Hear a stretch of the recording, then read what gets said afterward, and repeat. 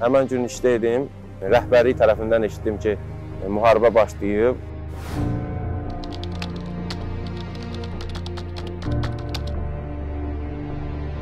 Qatarlar təyinatı üzrə yerlərinə çatmalıdır və məni də hərbi texniki olan sastava verdilər.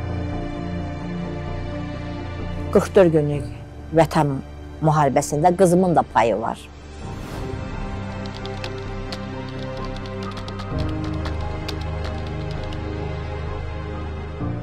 Sağlıq qüvvələrinin baş klinik hospitalında tibbi status işləyirdi. Su qovuşan istiqamətində gedən döyüşlərdə iştirak edirdik.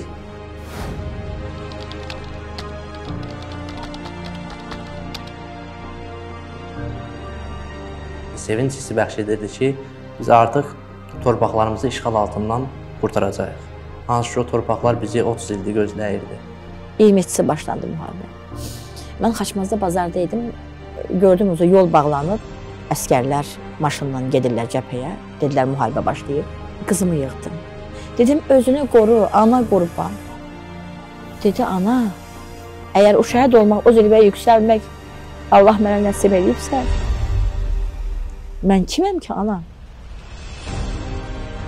İlk öncə bir Azərbaycan vətəndaşı kimi, daha sonra bir dəmir yolcu kimi bu böyük bir fəxrdir.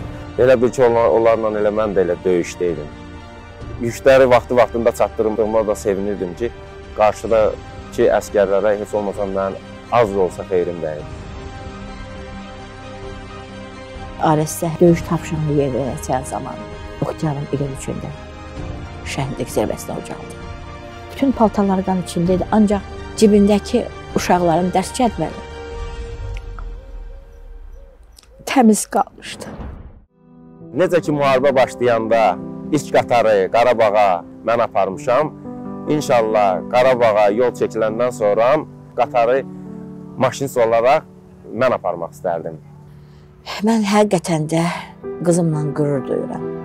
Tarix bir daha sübut elədi ki, bizim qoçaq, cəsur, qorxmaz qadınlarımız var. Qəhrəman övladlar yetişdirdikləri üçün onlara təşəkkürümü bildirirəm və qarşısında baş əyirəm. Bizim dəmir yolçularımızdan da 4 şəhidimiz var, ən uca zirvədədirlər.